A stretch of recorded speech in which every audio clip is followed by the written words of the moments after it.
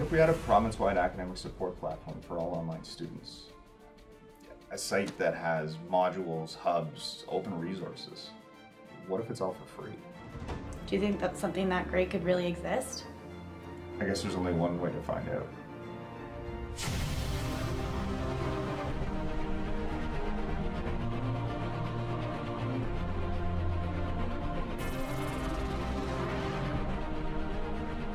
There's no way we're going to be able to do this all ourselves.